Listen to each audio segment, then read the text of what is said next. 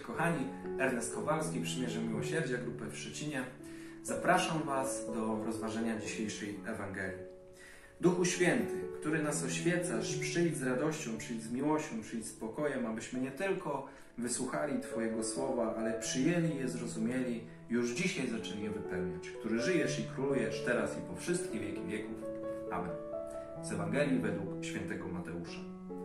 Strzeżcie się, żebyście uczynków pobożnych nie wykonywali przed ludźmi po to, aby was widzieli. Inaczej bowiem nie będziecie mieli nagrody u Ojca Waszego, który jest w niebie. Kiedy więc dajesz jałmużnę, nie trąb przed sobą, jak obłudnicy czynią w synagogach i na ulicach, aby ich ludzie chwalili. Zaprawdę powiadam wam, ci otrzymali już swoją nagrodę.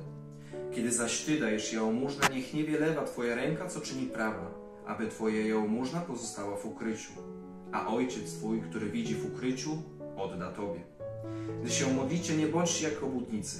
Oni to lubią w synagogach i na rogach ulic wystawiać i modlić się, żeby się ludziom pokazać. Zaprawdę powiadam Wam, otrzymali już swoją nagrodę. Ty zaś, gdy chcesz się modlić, wejdź do swej izdebki i zamknij drzwi i módl się do Ojca Twego, który jest w ukryciu, a Ojciec Twój, który widzi w ukryciu, odda Tobie. Kiedy pościcie, nie bądźcie posępni jak obłudnicy. Przybierają oni wygląd ponury, aby pokazać się ludziom, że poszczą. Zaprawdę powiadam wam, już odebrali swoją nagrodę. Ty zaś, gdy pościsz, namasz sobie głowę i obmyj twarz, aby nie ludziom pokazać, że pościsz, ale Ojcu Twemu, który jest w ukryciu. A Ojciec Twój, który widzi w ukryciu, odda Tobie. Oto słowo Pańskie. Chwała Tobie, Chryste. Pierwsza myśl z dzisiejszej Ewangelii to pytanie. Co może być, jak myślisz, nagrodą Ojca Niebieskiego? Nagrodą za bycie dobrym, za czynienie miłosierdzia, za dawanie miłosierdzia innym ludziom. Czy może być to szacunek od ludzi, podziw, wdzięczność, podzięka? Myślę, że jak najbardziej tak. Wszystko to jest dobre. Czemu nie? Organizując warsztaty, na pewno nieraz słyszeliście e, też słowa podzięki, wdzięczności od ludzi. Wiele ludzi szanowało i uznawało Was. Ale czy naprawdę o, o to chodzi?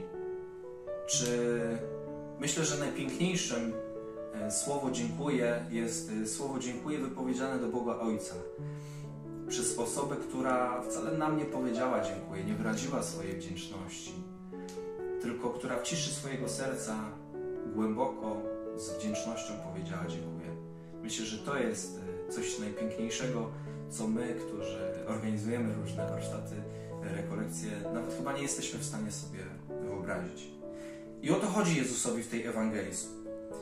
Myślę, że jeżeli będziemy polegać na ludzkiej opinii, na ludzkim zdaniu, jeżeli to ludzie będą naszą motywacją, bądź e, wręcz odwrotnie, nie będą żadną motywacją dla nas, to wszyscy zbłądzimy, bo zrodzi się pokusa pychy, zrodzi się pokusa obłudy, bo będziemy czynili rzeczy e, ustosunkowując się tylko mm, do ludzi, a w ogóle nie biorąc Boga pod uwagę.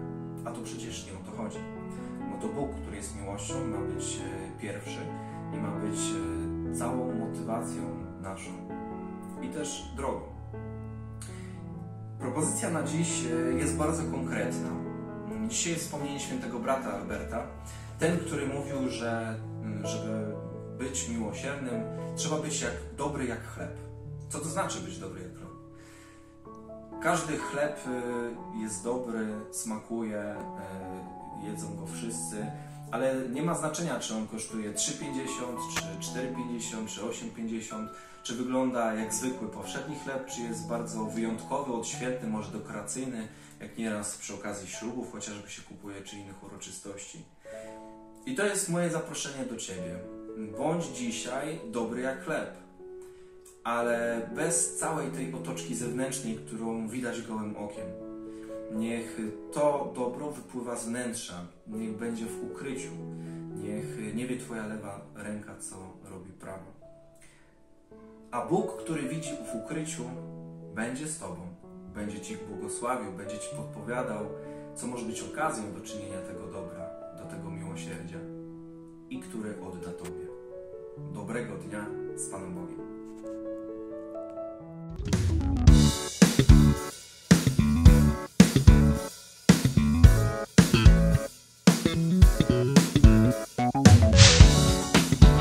Zapraszamy do subskrypcji naszego kanału. Śledź nas na bieżąco.